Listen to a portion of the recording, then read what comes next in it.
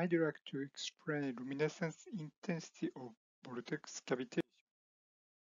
Let's see a vortex cavitation around butterfly valve. These longitudinal vortex cavitation produce a severe impact.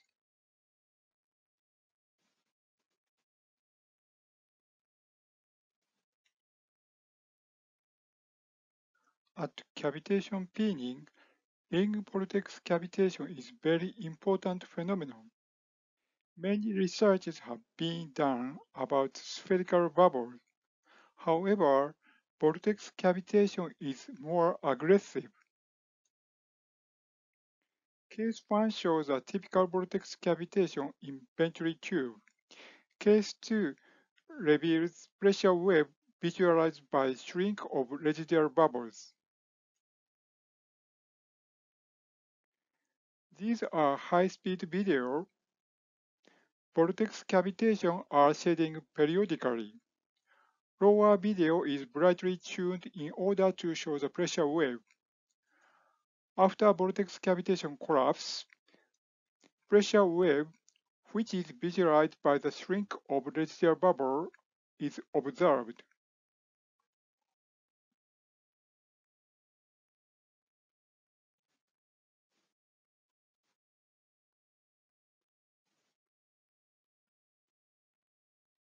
When speed of pressure wave, that the sound velocity was measured, sound velocity was increased with cavitation number because void ratio was decreased.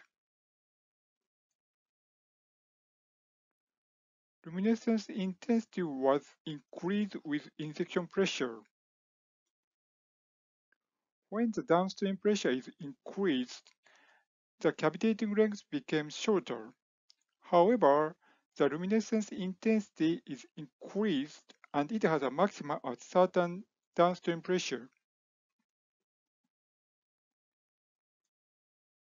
When sound velocity was considered in the factor of luminescence intensity, the estimated values are in good agreement with measured values. Namely, the sound velocity of cavitating flow field is very important factor. This is a small demonstration apparatus for vortex cavitation developed at Tohoku University. Detail of cavitation peening is on YouTube. Thank you for your kind attention.